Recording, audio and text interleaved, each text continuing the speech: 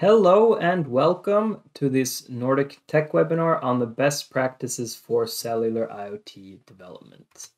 My name is Björn Kvale. I'm your host today. I'm a product marketing engineer at Nordic Semiconductor.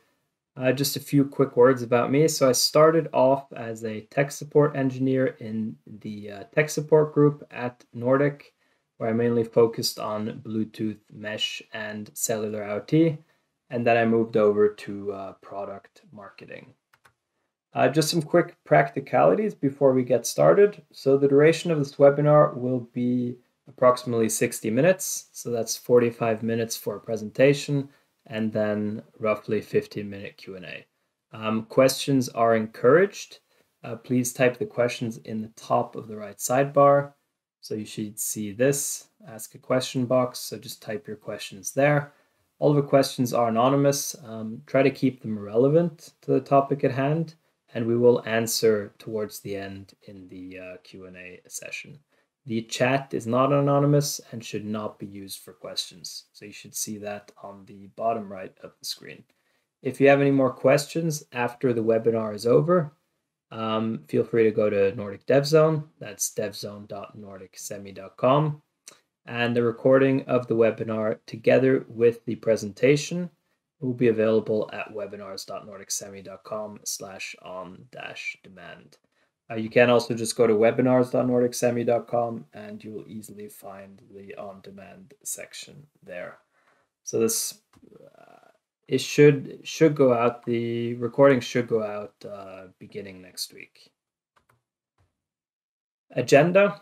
So basically, what I'll be doing, I'll be going through the first half of the best practices for cellular IoT development white paper.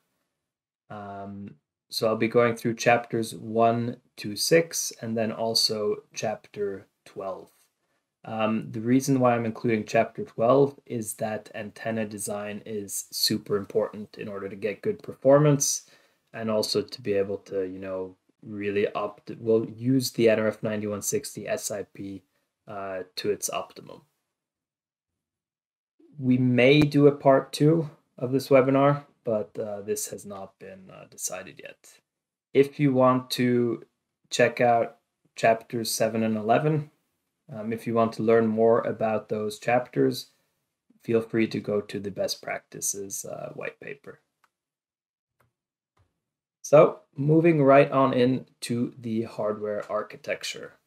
So this is based on the NRF 9160 SIP is based on a Nordic uh, dual core SoC. So we do have an ARM Cortex M33 processor for the application.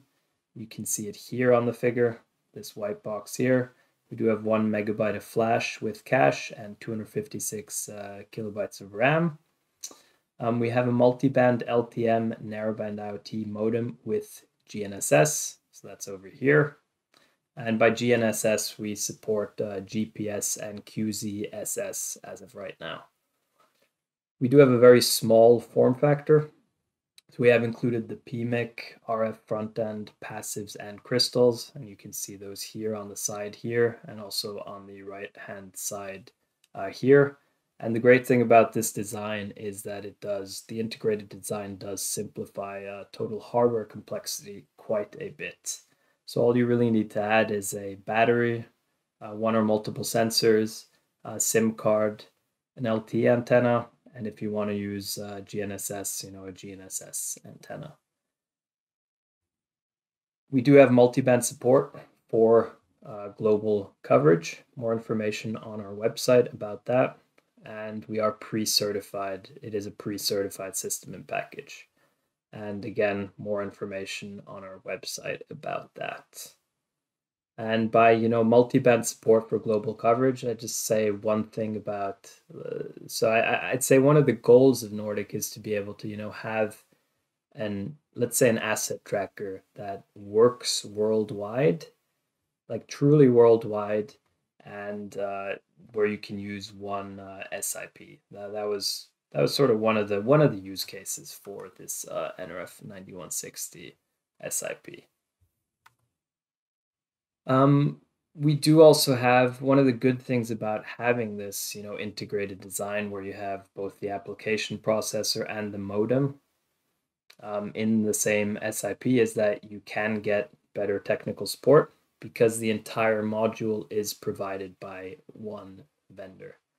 Um, so you won't, if let's say you have an application processor from one vendor and a modem from another vendor, and they start pointing their fingers at each other, um, yeah, you won't you won't get that at us uh, with us, be seeing as we provide both of it.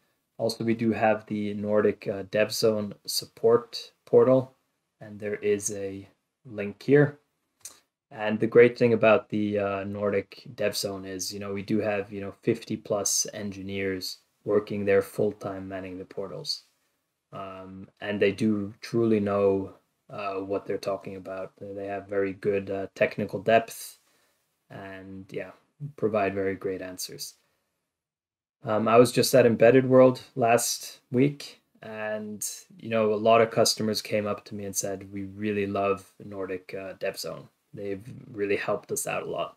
So that is that's one of the key takeaways, and I'll talk about this a bit later too. You know, use the Nordic DevZone. You can use the NRF 9160 system and package in a single chip implementation, or you can also use it as a serial modem. So we do have a serial LTE modem application where you can essentially use the whole entire SIP as a modem just by sending AT commands. So that can be useful if you, you know, quickly want to transition from a 2G or 3G application to LTE-M narrowband IoT. And let's say later on you transition to just using the NRF 9160 SIP. That's a possibility. Moving on to chapter three. So this chapter focuses on low power app design through uh, radio focus.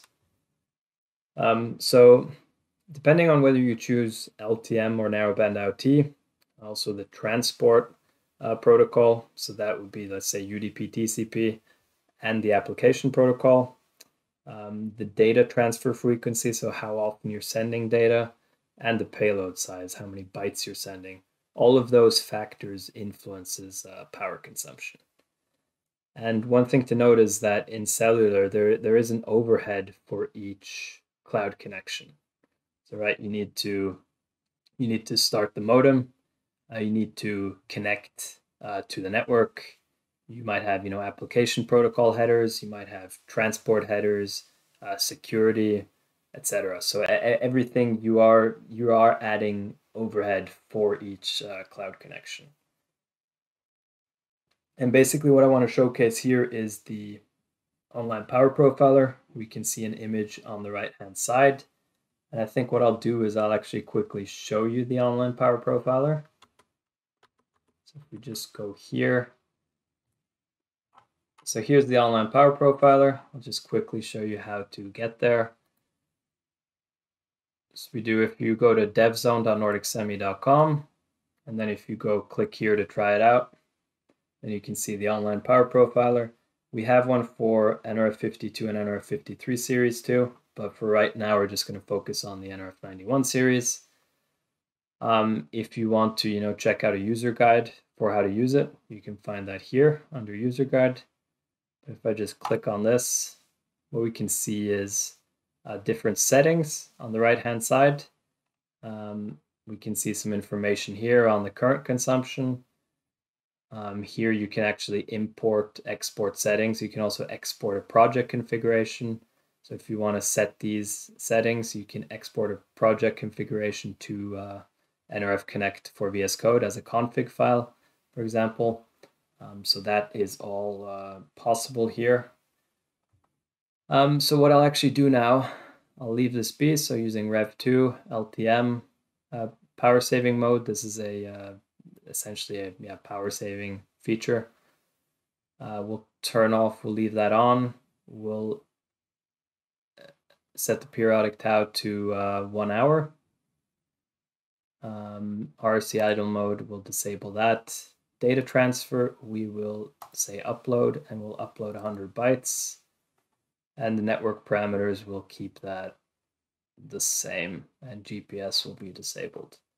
So here we can actually see, we go down to the graph. This is the same graph that I'm showing uh, here. And basically what I want to showcase here is that, so here, so this is the overhead here, this one, this one, this one, and this one. All of those four rectangles are overhead. So first, you know, you have the network sync that uh, has a charge of 1.244 microcoulombs, uh, sorry, millicoulombs. Um, so the charge is essentially just the area of that box. Um, then you have a sim sync. Then you have uh, RRC setup. And last but not least, you have uh, Tau too. And this, this is first where you're actually uploading the 100 bytes, right? So you can see if we look at the charge, I mean, you don't have to be a rocket scientist to see that, you know, this area is a lot smaller than the total sum of this area. So essentially the value you're getting, the data upload area is a lot smaller than the overhead area here. So let's move back here. And as you can see, this is what I'm trying to showcase here. Um, but there are some ways to, to solve this. And what I'm trying to showcase is, you know, you have to really value the data you send versus the cost of sending it. And by cost here, we're, we're essentially talking about the overhead, so the charge, the power consumption, the, the drainage on your battery, essentially. Um, but it could also be, you know, the cost of sending the data, right? Um, but for right now, we'll just look at power consumption. And here we can actually see, so the difference between this one and this one is here we're actually just sending a thousand bytes instead of sending a hundred bytes. So we're showcasing a bit uh, this bulk transfer, which I'll talk about. So in order to essentially minimize um, or maximize the value per cost, uh, some of the ways you can do this is, you know, do as much local processing on the NRF 9160 system and package as you can. Only transfer the important information to the cloud. So any if, if there's you know any way of either doing some kind of local processing or using AI or machine learning to minimize the amount of data you're sending, uh, to the cloud. That is uh, perfect, and that's very useful to do. Um, and that's because you know every time you're sending or receiving data, you need to turn on the radio, and the radio consumes energy. Bulk data transfers, like I'm trying to showcase here, is also very useful, right? So just by sending 100 versus 1,000 bytes, uh, you're essentially 10 times you're increasing the value divided by cost by 10 times but i'll go a bit through more through that in the next slide. Um, for machine learning applications we do have uh, Edge Impulse. It's a very good partner that we have a solution partner and they have really simplified machine learning for uh, edge devices. So for uh, constrained devices such as uh, the Thingy 91 and the NRF 9160 DK. So great documentation on uh, how to set up Edge Impulse with uh, Thingy 91. So here we're actually, this slide, we're just going to showcase the bulk transfer, sending 100 bytes versus sending 1,000 bytes. And like I was saying, you know, the value divided by cost is essentially the bytes sent. So in this case, a TX up to the base station to the cloud divided by the overhead charge. So like I was saying, the charge is just the area of these circles. So by sending, you know, a thousand bytes here instead of uh, 100 bytes like we had here, what we're basically doing is we're providing 10 times the value divided by cost.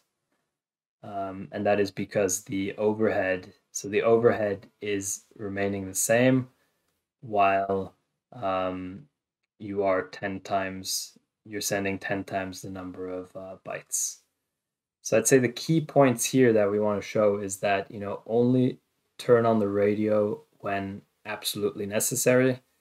Um, send the time critical data immediately and then send the deferrable data in bulk uh, transfers. Moving on to LTE technology. So here we are showcasing uh, LTE-M versus uh, narrowband IoT. So just looking at some of the similarities versus differences.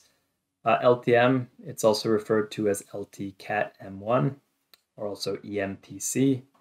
Um, narrowband IoT is split into LTE CAT NB1 and LTE CAT NB2. So CAT NB1 was in the 3GPP release 13, while CAT NB2 is the 3GPP release uh, 14. On the bandwidth side, you can see a bigger bandwidth on the uh, on LTE-M versus uh, narrowband IoT. And essentially, the wider bandwidth does then mean that you can send more uh, throughput. So you can send more data on LTE-M versus on narrowband IoT. As you can see, CAT NB2 is increasing the data throughput uh, more, um, which is a good thing. Um, we'll talk a bit more about that later. But in essence, we'll, we'll actually, for the remainder of this webinar, we'll mainly focus on uh, CAT M1 versus CAT uh, NB1. So those are the two we'll be focusing on. Uh, latency. Oh yeah, and one more thing regarding the bandwidth. So there's one of the useful things about having the smaller bandwidth is that the receiver is better able to filter out noise. So that basically means that you get better receiver sensitivity on narrowband IoT versus uh, LTE-M, and that that is then part of the reason why. Um, and of course, big better receive sensitivity leads to better link budget, and that's why you have a better typical range on narrowband IoT versus uh, LTM1. Uh, the other reason actually has to do with the uh, max throughput, that you have less uh, throughput. But anyway, um, seeing as you have max throughput, uh, higher max throughput on LTE-M, you then also have better uh, latency on LTE-M versus on narrowband IoT. But the latency is dependent, you know, on how many retransmissions you require, and that you know depends on the signal quality to the base station, so the RSRP. So it could be, let's say, in some cases, you know, where you're at the border and we actually have a YouTube video where we've shown this. Uh, in some cases, then if you if you're really at the borderline to a base station, it can be more energy efficient to go with narrowband IoT. But this is very edge edge cases, so that's yeah, that's not really the focus, but it's it's good to know. When it comes to cell reselection, um, LTE-M is the way to go. So by this mean, you know, switching from one base station to another base station. So if you have more mobile applications, most likely LTE-M is a good uh, good one to use. Um, for static applications, also for applications, let's say in in bad RF environments, let's say parking cellars, etc., you're probably more suited to uh, narrowband IoT. Um, also roaming. So if you need to connect to multiple uh, cell networks, then LTE-M is the better choice. You can, you do have limited uh, roaming with narrowband IoT. And also if we go quickly back to cell reselection, you are able to do some kind of cell reselection on narrowband IoT, but you'll be using a lot more power uh, for that than you will on LTM1. Uh, deployment density is same for both, so that's uh, 50,000 devices per cell and battery lifetime up to 12 years. That is for an app that is optimized uh, for power consumption. I'm not quite sure on the uh, specific details on that one. Moving on to peak uh, current. So if we look at this is this can be found on our product specification for the NRF 9160 system and package. So the peak current for CAT M1, this is on just looking at TX, so transmitting, sending data to the base station on max output power of 23 dBm. Uh, there we're looking at between 255 and 290 milliamps uh, depending on which band is used. So this could be B3, B4, B13, or B20. Um, peak current on CAT NB1, uh, same conditions, uh, 230 to 275 milliamps. So what I'm trying to show basically is that the if we look at this image on the side, so you have the time on the x-axis, you have uh, the current on the y-axis, or max current, I guess. Um, the height of this rectangle versus this rectangle is very similar.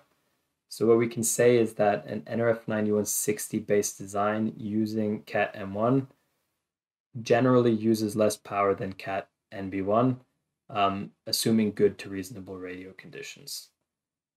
Um, so that, that that's very useful to know. And one of the main reasons for this is that is just the throughput, which I showed in the last slide. So if we look at the throughput here versus here, you can see that the throughput is between uh, roughly 6.3 and uh, 10 times uh, greater for LTE-M. So that means the on-air TX. So here on this graph, we're just looking at TX. We're not looking at any of the overhead or anything that I showed before. So the on-air TX, seeing as assuming you're sending the same amount of data, uh, the on-air TX will uh, be higher for uh, NB1 versus uh, CAT M1. So you're spending more time on air, you're using more uh, power.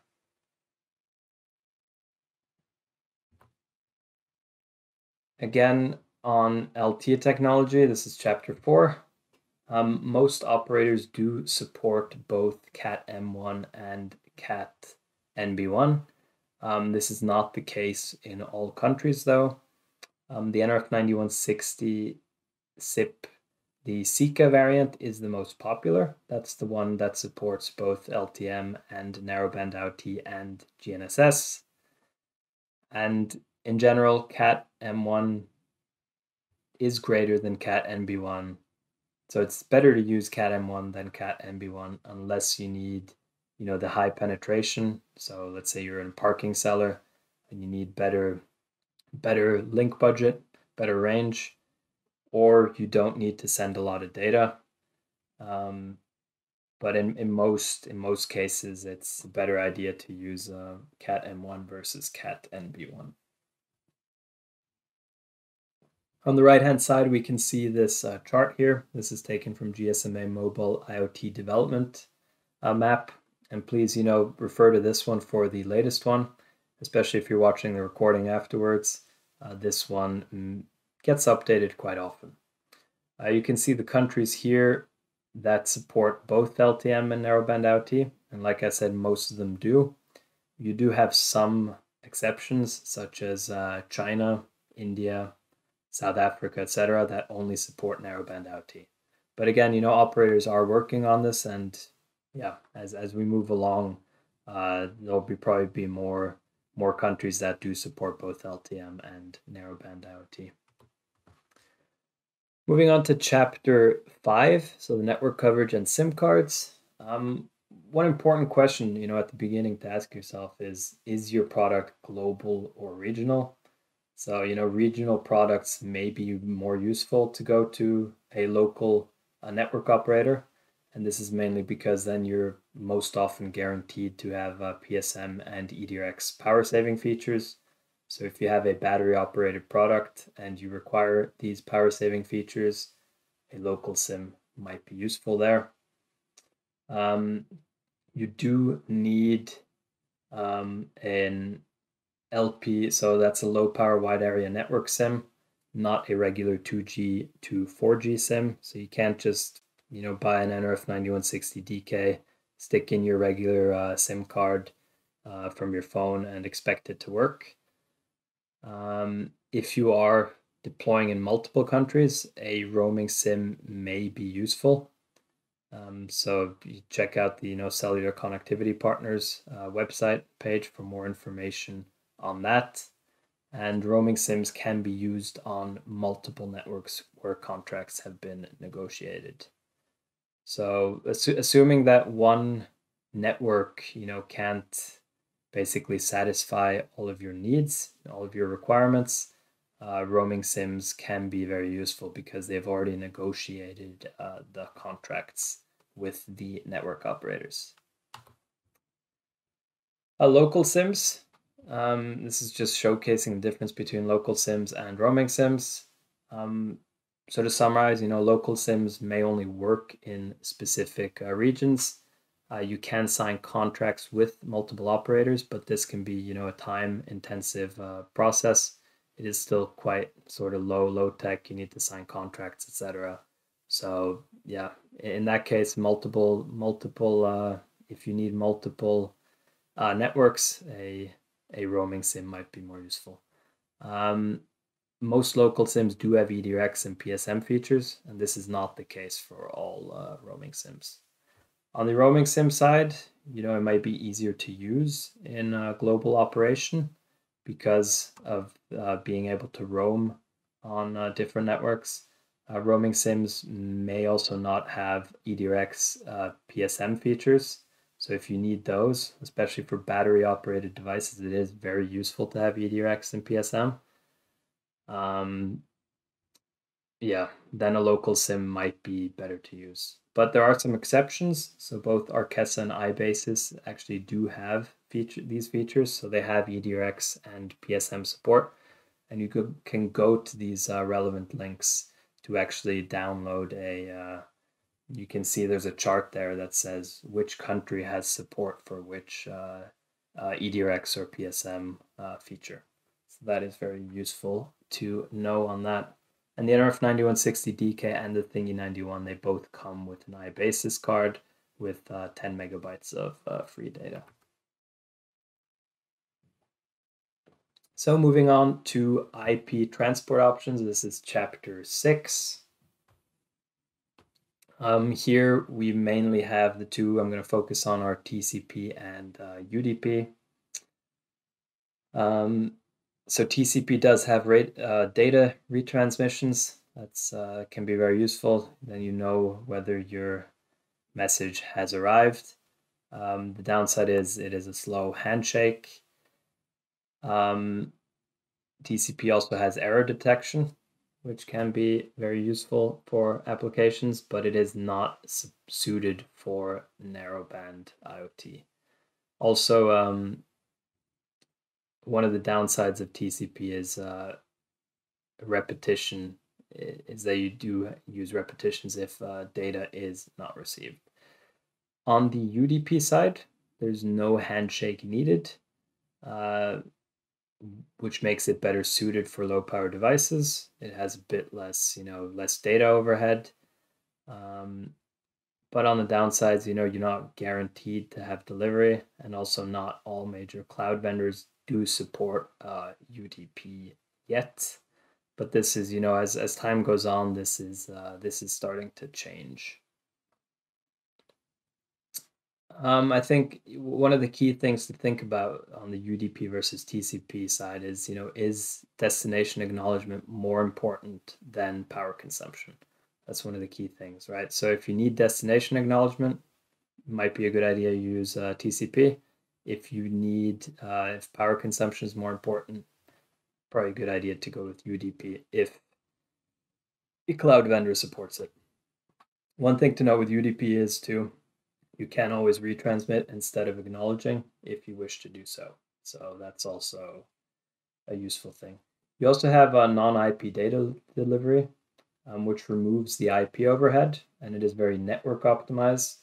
So it's actually even less power consumption than UDP, but at the moment, not many networks support it. Um, it's only supported on narrowband IoT, and not many cloud vendors uh, support it. But this is one. This is one to you know start looking at.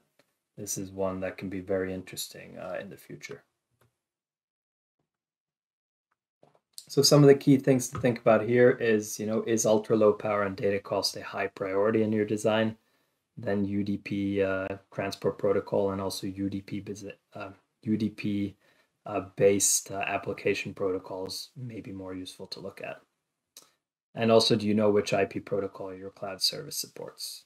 and also which application protocol your, uh, your cloud service supports.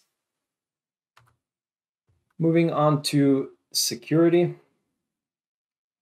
So we do have uh, TLS is for TCP, DTLS for UDP on the transport layer in the modem firmware. So adding TLS uh, or DTLS does increase the data overhead. Of course, you're you're adding security, but it you do get more overhead. Instead of TLS, uh, DTLS, you can also use data authentication via a pre-shared key. Um, that does have less overhead than TLS or DTLS. So that uh, that can be a good uh, sort of middle pathway to use um, if if you want to both have security and um, yeah have less uh, overhead than TLS DTLS. We do also have support for Trusted Firmware M, which implements the platform security architecture. Um, so this is actually available in a lot of the samples in the NRF Connect SDK. That's the SDK that's used for the NRF 9160 system in package. Um, we have also have support for ARM Trust Zone for data security. Um, so that essentially sets, you know, secure and non-secure regions of the flash, uh, RAM, and peripherals, and then you put the put the the important things in the secure side, so the keys, etc., and then you boot over to the non-secure side um, for the application.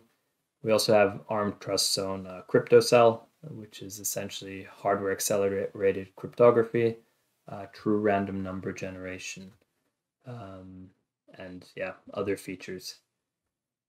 On the FOTA side, so the firmware over the air updates, we do have, it's a good idea to sign firmware images before, well, it's recommended to sign firmware images before going to production.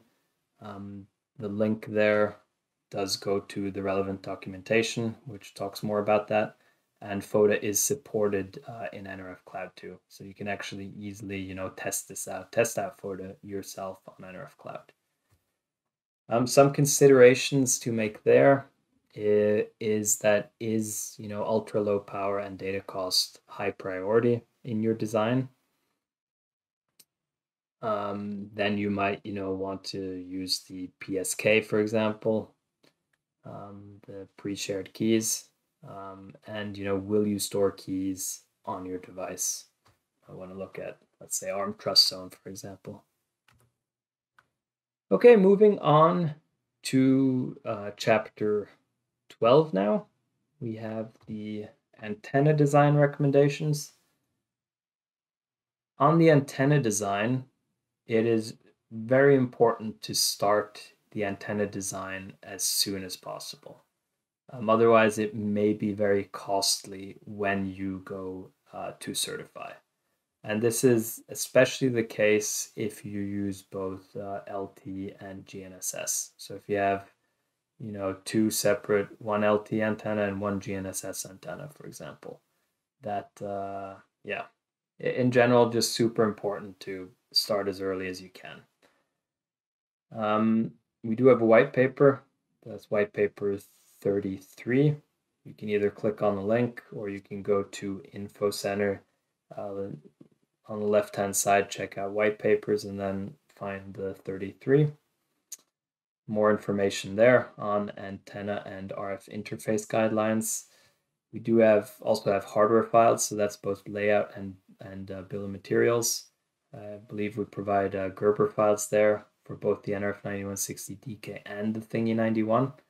So we've actually had some customers that essentially just use the Thingy 91 design uh, as much as they can and then create their own PCB and yeah, they use that to go to market. That's uh, of course, you know, make sure check check out the licensing and stuff when you download the hardware files on the website links here. But it should be possible, you know, to essentially, yeah, I mean, you use use the hardware files as a guideline for your own designs. That is uh, that's important. And we do also have you know design partners. Uh, that's both uh, Glass, and Ignion on the antenna design uh, side. I can actually quickly go through that. Um, but before I do that, I just want to mention one more thing quickly. So I, I have actually had, I've confirmed this myself with a Taoglas representative that one of the most sure ways that you're going to spend more money during certification is to wait until the last moment to do antenna design. Um, so, you know, if you decide to use one of these partners, inform them early on about what you plan to do, and they can help you, you know, create a uh, create an optimized antenna for uh, for your application. Um, we also have Taoglas and Ignion uh, webinars, which we've done on these two links here. So that can be useful to look at. So if I go quickly to the design partners, you can actually just go to nordicsemi.com and Nordic Partner Program. If we open that up, you can actually see here uh, the design partners. It's just taking a bit of time to load. There, okay. So design partners are essentially companies that are part of the Nordic Partner Program and they're qualified, you know, to help in uh, design related uh, things. So this can be anything from, you know, hardware, RF design, software development, advanced RF antenna design, but also security uh, design and implementation. Uh, more information here and here we can actually see a list of all of the different uh, design partners. So if we, let's say we go to, here you can see Ignion or Ignion. You can open this one. We also have Glass here. So both of these, if you click on those links, you can see a bit more information on what they, what kind of services uh, they offer. Yeah, and it's the same for Taoglas. Great. Um, we also have, you know, solution partners here. And here you can, you know, read more about that. So they, again, they have joined the Nordic Partner Program and they, they basically provide solutions. Um, again, that could be anything from pre-production services, uh, protocols, some kind of software, prototyping platforms, uh, many different solutions that they offer to uh, Nordic uh, customers. So moving on to some uh, key takeaways. Please, you know, read the Nordic white paper, so the 044 thoroughly. Um, I'll actually have, can actually show it quickly to you. So if you just go to Info Center,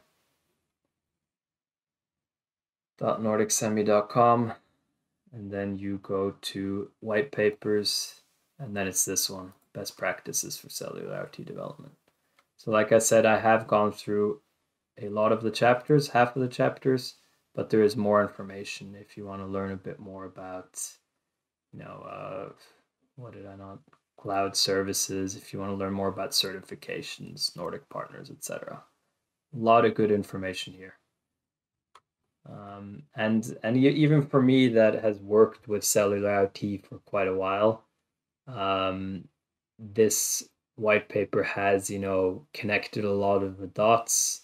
It has made things a lot clearer.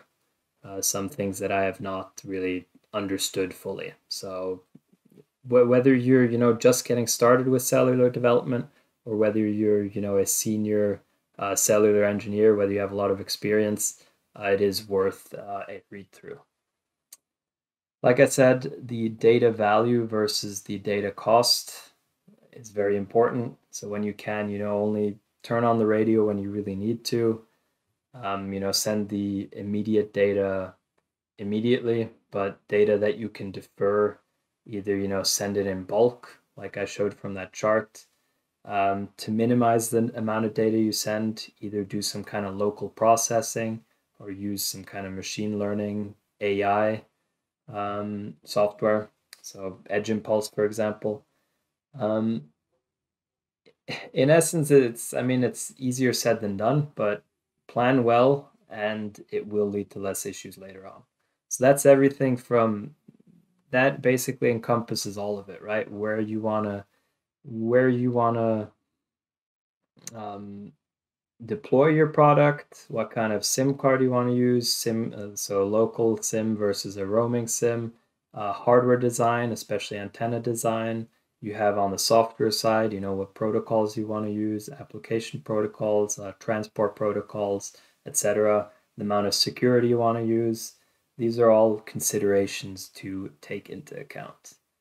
And again, I'm going to highlight it again. The antenna design is very, very important because yeah, if you you, you can have a very ultra low power SIP like the NRF 9160, but if you have a bad antenna, I can guarantee you that you will not get the optimum performance out of the NRF 9160 system in package. And last but not least, use the Nordic Dev Zone. I've already mentioned this, I'll mention it again. Um, we do have, you know, 50 engineers roughly working there full time, manning the portal. Um, you can ask, you can check out the forums, you can check out the blog posts, the guides. Um, you can ask public questions, you can ask uh, private questions. Um, yeah, they're very helpful and they know what they're talking about. Here's the Nordic Partner Program, just a bit more on that. Um, the idea here is, you know, to simplify cellular as much as we can um, by having partners that have experience with cellular development. So anything from hardware design uh, to antenna design, uh, connectivity, uh, cloud and device management. So AV Systems, for example, has a very good uh, uh, device management uh, um, device management feature. So device manage device management implementation and AV Systems also does support the cellular location services. So the uh, location services on uh, provided by NRF Cloud. We also have uh, some other partners here. Um, we have Memfault for remote debugging, uh, fleet monitoring, and over-the-air updates too. For machine learning, I already mentioned Edge Impulse, and for location services, we have uh, NRF Cloud. Um, so these are NRF Cloud. We basically have uh, both cell-based and uh, GPS-based uh, location services. So the idea being that you're able to get accurate positioning while uh, minimizing the power consumption as much as possible. So we have single cell, we have multi-cell, uh, we also have assisted GPS and uh, predictive uh, GPS. But again, more information on nrfcloud.com on that, or also on our website. Just go to products uh, and then cloud services, and you can read more there. If you want to learn more about the chapters that I've not discussed, please check out the best practices guide for cellular IoT development I've already shown you how to get there. You can either click on the link or just go to infocenter.nordicsemi.com to download the white paper. Last but not least, if you want to sign up for more webinars, go to webinars.nordicsemi.com. Um, if you need tech support, you want to join our community, go to devzone.nordicsemi.com. And if you want to find out more about our products and services, you can do that at nordicsemi.com. So yeah, without further to do, uh, let's move on to the Q&A.